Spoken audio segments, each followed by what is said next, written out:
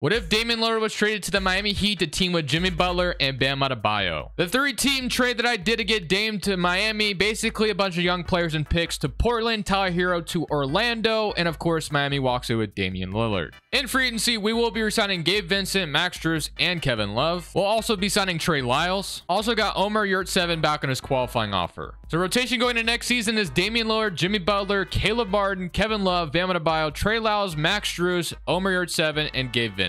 At the end of the season, we finish up as a 60 in the East, 47 and 35. As Dame led the way with 30, followed by Jimmy with 22, Bam with 17. As we made it all the way to the NBA Finals, swept the Grizzlies in four. Jimmy Butler is your Finals MVP. To see a full Damian Lillard Miami Heat rebuild, I uploaded one today on my YouTube channel.